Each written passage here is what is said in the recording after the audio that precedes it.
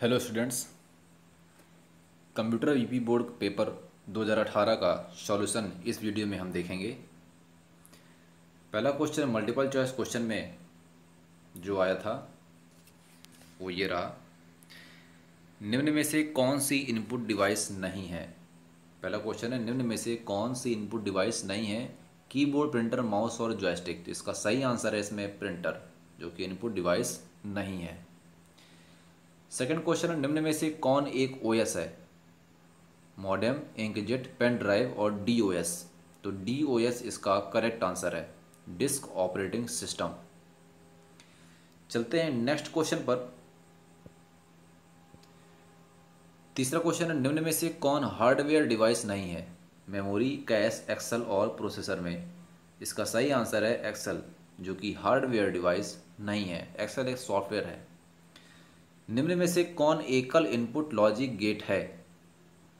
NAND gate AND gate NOT gate और NOR gate इसका सही आंसर है नॉट गेट ऐसा गेट जिसमें केवल एक इनपुट होता है और एक आउटपुट होता है, वो कहलाता है नॉट गेट चलते हैं नेक्स्ट क्वेश्चन पर। फिफ्थ नंबर का क्वेश्चन इसी पे। पहले में, निम्न में से कौन सेव ऑपरेशन का शॉर्टकट है? Control P control S control N और कंट्रोल एफ़ इसका सही आंसर है कंट्रोल एस फ़ाइल को सेव करने का शॉर्टकट है कंट्रोल एस फ़ाइल को प्रिंट करने का शॉर्टकट है कंट्रोल पी और न्यू पेज नया पेज देने के लिए किसी फ़ाइल में एम एस वर्ड या एक्सेल में, उसके लिए है शॉर्टकट कंट्रोल एन और फाइंड करने के लिए उसका शॉर्टकट है कंट्रोल एफ़ यहाँ पर सेव के लिए पूछा था तो इसका सही आंसर है कंट्रोल एस एक क्वेश्चन और आ सकता है कि फ़ाइल को ओपन करने का शॉर्टकट क्या है तो कंट्रोल ओ हो जाएगा वहाँ पर। सेकेंड नंबर के क्वेश्चन पर चलते हैं।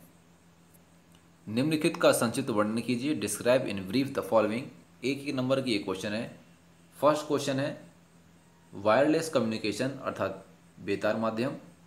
दूसरा है वैन तीसरा है विंडोज़ ओएस तीसरा है बैंड विथ सॉरी चौथा है बैंड विथ और पांचवा है सिंपलेस कम्युनिकेशन इन सभी पाँचों का आंसर ये रहा, बेतार अर्थात वायरलेस कम्युनिकेशन जिसमें डेटा और सूचना एक ही स्थान से दूसरे स्थान तक बिना तार के द्वारा स्थानांतरित हों, वो वायरलेस मीडियम कहलाते हैं, जिसमें repeater satellite Bluetooth WiMAX वगैरह आ गए।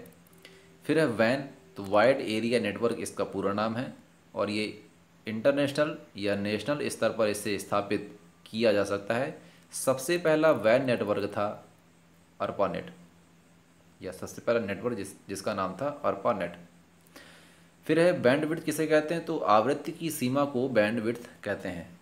फ्रिक्वेंसी की जो रेंज होती है, वो बैंड विड्थ कहलाती है। बैंड विड्थ आठ थ्री टाइप्स, तीन प्रकार की होती है bandwidth narrow band, voice band and wide band. फिर था सिंपलेस्ट कम्युनिकेशन इसमें डेटा का संचरण हमेशा एक ही दिशा में होता है, जैसे टीवी ट्रांसमिशन, कंप्यूटर का कीबोर्ड, माउस, प्रिंटर वगैरह, ये सभी सिंपलेस्ट कम्युनिकेशन के अंतर्गत आता है। थर्ड नंबर का क्वेश्चन है एक्सप्लेन द फॉलोइंग निम्नलिखित को समझाइए। अब यहाँ से ये क्वेश्चन दो दो नंबर के आ गए तो थोड़ा इसमें और ज़्यादा लिखना पड़ेगा। अभी तक एक लाइन में, अब कम से कम पाँच लाइन या एक पैराग्राफ या डेढ़ या दो पैराग्राफ लगभग लिखना पड़ेगा आपको। तो निम्नलिखित को समझाना है, सबसे पहला क्वेश्चन है इसमें प्रिंटर्स दूसरा है mouse H L L V I text editor और लॉजिक गेट यहाँ पर जो मैंने आंसर दिए हैं सभी के, यहाँ मैंने शॉर्ट दिए हैं, आप इसमें और भी लिख सकते हैं। तो आउटपुट डिवाइस अर्थात प्रिंटर यह एक आउटपुट डिवाइस है जो कंप्यूटर पर से डेटा को लेकर प्रिंट निकालने का कार्य करता है। यह हार्ड कॉपी के रूप में डेटा को प्रदर्शित करता है। प्रिंटर दो प्रकार के होते हैं इम्पैक्ट और नॉन इम्पैक्ट इम्पैक्ट प्रिंटर जो ठोकर मार के अक्षरों की प्रिंटिंग करता है, वो इम्पैक्ट में आता है और नॉन इम्पैक्ट आता है जो कागज़ पर अक्षरों की छपाई, इंक की बौछार से अर्थात स्प्रे के रूप में करता है, वो आता है नॉन इम्पैक्ट प्रिंटर दूसरा है माउस माउस एक इनपुट डिवाइस है जो कंप्यूटर पर किसी ऑब्जेक्ट को सिलेक्ट करने या आइकॉन को क्लिक करने के लिए प्रयोग किया जाता है। इसके द्वारा बड़ी ही आसानी से हम फाइलों को या कंप्यूटर को एक्सेस कर सकते हैं और माउस को माउस पैड पर रखकर चलाया जाता है। डगलस एंजलबर्ड ने इसे डेवलप किया था। इसके बाद तीसरा है high level language H L L H L L का पूरा नाम होता है हाई लेवल लैंग्वेज।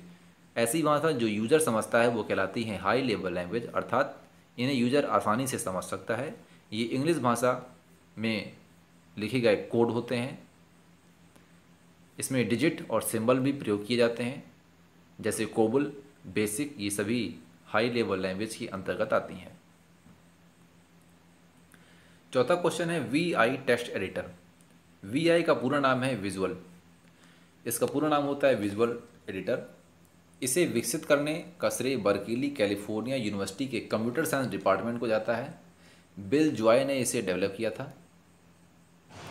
यह एक अत्यंत उपयोगी और पावरफुल टेक्स्ट एडिटर है। इसमें कमांड और प्रोग्राम दोनों लिखे जाते हैं। फुल स्क्रीन में ये एडिटर ओपन होता है और अन्य एडिटर की अपेक्षा ये काफ़ी फास्ट होता है और इसका एडवांस वर्जन है वेम एडिटर। यहाँ पर वेम एडिटर का पूरा नाम है। Visual improve. फिफ्थ नंबर का क्वेश्चन था लॉजिक गेट। तो लॉजिक गेट एक इलेक्ट्रॉनिक परिपथ होता है, इलेक्ट्रॉनिक सर्किट होता है, जो लॉजिकल क्रियाओं को संपन्न करता है। इसमें एक या एक से अधिक इनपुट वेरिएबल हो सकते हैं तथा एक ही आउटपुट वेरिएबल होता है। लॉजिक गेट तीन प्रकार के हैं, बेसिक जिसे गेट कहते हैं, एंड और और तीसरा है नॉट गेट। चलते हैं अगले क्वेश्चन पर। फोर्थ नंबर का क्वेश्चन ये रहा राइट अबाउट द फॉलोइंग निम्नलिखित के बारे में समझाइए या बताइए। दो दो नंबर का ये क्वेश्चन है। सबसे पहला है इसमें random files library function DMP stacks और डायरेक्टरी ये रहे इन सभी के आंसर रैंडम फाइल्स जिसमें डेटा को किसी भी क्रम में लिखा हुआ रिकॉर्ड किया जा सकता है और उसे किसी भी क्रम में देखा, पढ़ा हुआ सुना जा सकता है। रैंडम फाइल्स के रूप में डेटा स्टोर करने के लिए मुख्य रूप से hard disk C D pen drive इत्यादि का प्रयोग किया जाता है। दूसरा क्वेश्चन था लाइब्रेरी फ़ंक्शन। तो लाइब्रेरी फ़ंक्शन को बिल्ट इन फ़ंक्शन या प्री डिफाइंड फ़ंक्शन के नाम से भी जानते हैं। और ऐसे फ़ंक्शन जो सी भाषा के कंपाइलर के साथ पहले से मिलते हैं, वो लाइब्रेरी फ़ंक्शन कहलाते हैं। या इन फ़ंक्शन को प्रयोग, प्रोग्राम में प्रयोग करने से पहले इनकी हेडर फ़ाइल अटैच की जाती है, जोड़ी जाती है। ये फ़ंक्शन इस प्रकार हैं print F scan F gets S T R C P Y इत्यादि, ये सभी लाइब्रेरी फ़ंक्शन हैं। फिर है डीएमपी का पूरा नाम। डॉट में डी एम पी को एक क्वेश्चन था तो डी एम पी का पूरा नाम होता है डॉट मैट्रिक्स प्रिंटर अर्थात ऐसा प्रिंटर जो अक्षरों को छोटे छोटे डॉट से मिल करके बनाता है, वो कहलाता है डॉट मैट्रिक्स प्रिंटर ये इम्पैक्ट प्रिंटर का एक प्रकार है, इसका प्रयोग रेलवे डिपार्टमेंट में किया जाता है। स्टैक अगला क्वेश्चन है स्टैक तो स्टैक एक लीनियर डेटा स्ट्रक्चर है, एक डेटा लिस्ट है एक प्रकार की, जिसमें स्टैक में था, यह लीफो मेथड पर कार्य करता है, अतः इसमें जो डेटा लास्ट में इनपुट होता है, वह सबसे पहले डिलीट हो जाता है। स्टैक एक ऐसा रजिस्टर है, जिसमें जो भी डेटा सबसे लास्ट में इनपुट हुआ होगा, सबसे ऊपर वाला सबसे लास्ट पे आया तो वही डेटा सबसे पहले डिलीट होगा। तो ये लीफो मेथड पर काम करेगा, अर्थात लास्ट इन और फ़र्स्ट आउट जो लास्ट में गया, वही पहले डिलीट होगा। ऐसा रजिस्टर है ये स्टैक फिर है डायरेक्टरी डायरेक्टरी में फाइलें स्टोर होती हैं और फ़ाइल में हमारा डेटा लाइनस में जब भी कोई यूज़र एक फ़ाइल बनाता है तो लाइनस उसकी एक डायरेक्टरी फ़ाइल बना देता है। वैसे डायरेक्टरी एक प्रकार का कंटेनर होती है जो फाइलों को स्टोर करने का काम करती है। कई प्रकार की अलग अलग फाइलें जैसे इमेज, ऑडियो, वीडियो इत्यादि सही फाइलों को डायरेक्टरी भी स्टोर करके हम रख सकते हैं। फिफ्थ नंबर का क्वेश्चन है, आंसर ऑल द पार्ट्स, जिसमें से पहला क्वेश्चन है, कैरेक्टर रिप्रेजेंटेशन क्या होता है? सेकंड क्वेश्चन है लाइनक्स और विंडोज़ की तुलना कीजिए। थर्ड है, भिन्न प्रकार के नेटवर्क्स को समझाइए। Explain different types of networks तीनों के आंसर ये रहे। अक्षर प्रस्तुतिकरण, अर्थात कैरेक्टर रिप्रेजेंटेशन ये दो प्रकार के हैं आस्की और एफ़ कोड केवल इन्हीं दोनों के बारे में लिखना है।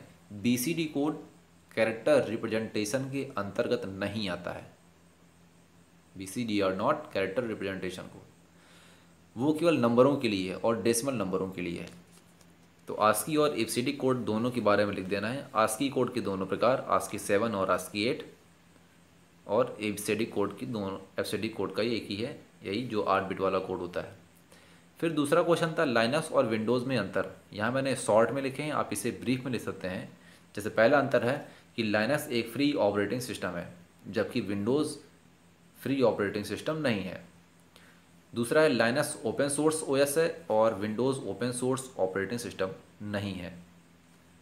तीसरा अंतर है कि लाइनस एक केस सेंसिटिव ओएस है और विंडोज़ केस सेंसिटिव नहीं है। चौथा है लाइनस को यूज़ करना कठिन है और विंडोज़ को प्रयोग करना अत्यंत आसान है। और पांचवा आंसर पांचवा डिफरेंस है, यह हैकिंग के लिए यूज़ किया जाता है और विंडोज़ का प्रयोग हैकिंग के लिए नहीं किया जाता है। थर्ड नंबर का क्वेश्चन था explain different types of networks LAN MAN van को यहाँ पर समझा देना है आपको। आप इसका फिगर भी बना सकते हैं। चलते हैं नेक्स्ट क्वेश्चन पर सिक्स नंबर का क्वेश्चन ये रहा, सभी खंडों की उत्तर दीजिए। सी भाषा में भिन्न वेरिएबल्स कौन कौन से हैं? दूसरा है स्ट्रिंग्स क्या है? इसके प्रकार लिखिए। और तीसरा है प्रोग्रामिंग भाषाओं की जनरेशन क्या है? समझाइए। ये रहे इनके answer different types of variable local variable global variable और ऑटोमेटिक वेरिएबल तो बता दें, ये सभी क्वेश्चन ये वेरिएबल वाला क्वेश्चन ये लास्ट वाला चैप्टर फ़ंक्शन से रिलेटेड है। अर्थात यूडीएफ फ़ंक्शन हम लोगों ने प्रयोग किया होगा। तो लोकल वेरिएबल ऐसे वेरिएबल होते हैं जो मेन फ़ंक्शन के अंदर, अर्थात फ़ंक्शन की कॉलिंग में प्रयोग होते हैं, वो वेरिएबल कहलाते हैं लोकल वेरिएबल और ग्लोबल वेरिएबल ऐसे वेरिएबल होते हैं जो फ़ंक्शन की परिभाषा में परिभाषित होते हैं यूज़ किए जाते हैं, वो कहलाते हैं ग्लोबल वेरिएबल अर्थात ये मेन फ़ंक्शन से बाहर प्रयोग किए जाते हैं। और ऑटोमेटिक वेरिएबल ऐसे वेरिएबल होते हैं जिन्हें, जैसे हमने लिखा इंटीजर ए और बी ये साधारण वेरिएबल हैं। इसी को अगर हम ऑटोमेटिक कीवर्ड का प्रयोग कर दें तो ये भी बाय डिफ़ॉल्ट ऑटोमेटिक ही रहेगा। पर ऑटोमेटिक हम लिखते नहीं हैं। पर बाय डिफ़ॉल्ट है ये ऑटोमेटिक तो ऑटोमेटिक अर्थात वेरिएबल को डिक्लेयर करने के लिए हम ऑटोमेटिक कीवर्ड का प्रयोग करते हैं, जो कि साधारणता जैसे हम प्रयोग करते हैं वेरिएबल को, वैसे ही प्रयोग कर सकते हैं। सेकेंड क्वेश्चन है स्ट्रिंग और इसके प्रकार। तो स्ट्रिंग की आपको डेफिनेशन लिख देनी है, जैसा कि आपको स्क्रीन पर दिख रही होगी, और इसके प्रकार लिख देने हैं, जिसमें उनके फ़ंक्शन के बारे में लिखना है। चाहे तो आप इसमें सभी के प्रोग्राम बना सकते हैं या फिर किसी एक का या किन्हीं दो की प्रोग्राम आप बना करके समझा सकते हैं। तीसरा क्वेश्चन है, प्रोग्रामिंग भाषाओं की जनरेशन को समझाना है। तो प्रथम पीढ़ी में आई निम्न स्तरीय भाषा, दूसरी पीढ़ी में आई असेंबली भाषा, तीसरी पीढ़ी में आई हाई लेवल लैंग्वेज अर्थात उच्च स्तरीय भाषा, और चौथी पीढ़ी पर आई फोर जी एल, जिसमें आई आ गई आपकी Java H T M L ये सभी। चलते हैं, नेक्स्ट क्वेश्चन पर। सेवेंथ नंबर का क्वेश्चन है सेवेंथ नंबर पे है, सी भाषा एक मिडिल लेवल भाषा है, उदाहरण द्वारा समझाइए। तो इसमें आपको सी भाषा के बारे में लिख देना है कि सी भाषा ना तो लो लेवल लैंग्वेज की श्रेणी में आती, ना ही हाई लेवल लैंग्वेज की श्रेणी में, इसलिए इसे मिडिल लेवल लैंग्वेज के नाम से जाना जाता है। आप इसके बारे में इसकी विशेषताएँ, इसका विकास कब हुआ, ये सब, और एक साधारण सा, छोटा सा प्रोग्राम या इसकी संरचना बना सकते हैं। या अथवा में क्वेश्चन को सॉल्व कर सकते हैं। सी भाषा के संदर्भ में निम्न को समझाइए तो डेटा टाइप्स और लॉजिकल ऑपरेटर। तो डेटा टाइप्स क्या होते हैं? इसकी परिभाषा, इसके शब्दों में छिपी है। डेटा के प्रकार को जो निश्चित करता है, वो डेटा टाइप कहलाता है। पाँच प्रकार के होते हैं। Void, char, int float double. Memory में कितने बाइट स्थान घेरता है, वो लिख देने। और कौन कौन सी संख्याएँ या कैसी कैसी संख्याएँ कहाँ से कहाँ तक स्टोर होती हैं, या कैलकुलेशन कर सकता है, वो उन सब के बारे में आप समझा सकते हैं। इसके बाद एट्थ नंबर का क्वेश्चन है। सी भाषा का प्रयोग करते हुए प्रोग्राम लिखिए, जो एक स्ट्रिंग में कितने शब्द हैं, ज्ञात करें और बताए कि किस शब्द में सबसे अधिक अक्षर हैं। या सर्चिंग क्या है सॉर्टिंग क्या होता है सी भाषा में इसकी उपलब्ध तकनीक को समझाइए। तो आप या तो प्रोग्राम बना सकते हैं या फिर सर्चिंग सॉर्टिंग वाला क्वेश्चन का आंसर दे सकते हैं। तो सर्चिंग के दोनों प्रकार बाइनरी और लीनियर सर्च और सॉर्टिंग के तीनों प्रकार सिलेक्शन बबल और इंसर्शन तीनों को आप समझा सकते हैं, उदाहरण सहित। और ये जो एट नंबर का प्रोग्राम है, वो मैं आपको यहाँ पर दे रहा हूँ। प्रोग्राम है, यहाँ पर हमने वेरिएबल लिया है नेम नाम का, जो 50 अक्षरों को स्टोर करके रख सकता है, और आई लिया है यहाँ पर हमने अक्षरों के लिए अर्थात काउंट करने के लिए और जे लिया है स्पेस को काउंट करने के लिए। आई शब्द हैं और जे स्पेस है। प्रिंट एफ़ इंटर नेम ये मैसेज आउटपुट की स्क्रीन पर लिख करके आएगा, ये देखिए यहाँ पर। इसके बाद गेट्स नेम अर्थात इनपुट करने का, जो कि अनफॉर्मेटेड इनपुट फ़ंक्शन है, नाम को हमने क्या कर दिया? इनपुट कर दिया। राम कुमार सिंह। अब क्या करना है? अब हमने एक कंडीशन चेक की while name I not equal slash zero अर्थात आई में दिया गया नेम वेरिएबल में दिया गया नाम अगर ज़ीरो के बराबर नहीं है, अर्थात कोई अक्षर अगर नहीं है तो कंडीशन क्या हो जाएगी? फॉल्स हो जाएगी। कोई अक्षर नहीं है तो फॉल्स हो गई। फिर आगे की कंडीशन चालू नहीं होगी।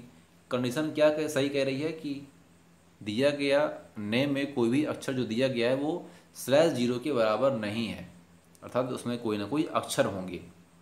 ब्लैंक नहीं है। और स्लैश ज़ीरो कब प्रयोग किया जाता है स्ट्रिंग की समाप्ति पर। तो स्ट्रिंग तो ऐसा नहीं है कि राम कुमार सिंह में कोई स्ट्रिंग है ही नहीं। अक्षरों से मिलकर के शब्द बने तो राम कुमार सिंह ये सभी अक्षर ही तो हैं जो शब्द का निर्माण कर रहे हैं। स्लैश ज़ीरो तो नहीं है। स्लैश ज़ीरो सबसे लास्ट पे है। तो कंडीशन क्या हो जाएगी? सही हो जाएगी, फिर क्या जाएगा? अगले लाइन पर जाएगा। इफ़ में चेक करेगा name I is equal to is equal to gap जहाँ पर भी इसे गैप मिलता है, और यहाँ पर चिन्ह प्रयोग किया है लॉजिकल एंड ऑपरेटर का, जो कि दोनों कंडीशन का सही होना इसमें ज़रूरी है। तो लॉजिकल एंड ऑपरेटर कह रहा है, पहला कह रहा है कि name I is equal to is equal to gap gap दे रहा है कहीं भी, और आई में एक अंक की वृद्धि कर दे। आई में एक अंक की वृद्धि कर दे तो जो भी आए अक्षर, वो नहीं है बराबर गैप के। जैसे राम, ये आ गया आई की लोकेशन आई क्या है? बराबर बराबर है गैप के। ये आई। और दूसरी कंडीशन कह रहा है name I plus one I के मान में एक अंक की वृद्धि हो गई तो क्या आ गया? ये कुमार वाला अक्षर आ गया के तो ये क्या है? नॉट इक्वल गैप ये गैप तो है नहीं, ये गैप नहीं है। आई का मान जो है ये है गैप। अब क्या करें? अगर ये कंडीशन ट्रू होती तो जे के मान में एक अंक की वृद्धि कर दे। जे का मान क्या था? एक दिया था, अभी क्या हो जाएगा? दो हो जाएगा। क्या हो गया? दो हो गया। अर्थात ये पहला वर्ड अब दूसरे वर्ड पर जा रहे हैं, उसकी प्रोसेस यहाँ पर हो रही थी। यहाँ पर क्या हो रही थी? उसकी प्रोसेस हो रही थी।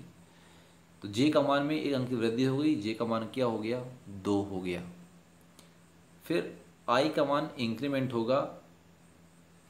अगले उसमें जाएगा शब्द में, फिर ये चेक करेगा कि क्या स्लैश ज़ीरो के बराबर तो नहीं है।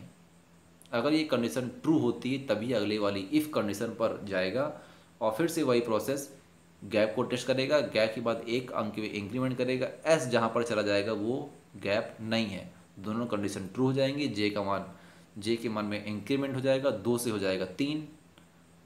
फिर इसके बाद आई के मान में एक अंक की वृद्धि हो जाएगी। अब ये चेक करेगा कंडीशन जो कि सही जो कि गलत हो जाएगी कि while name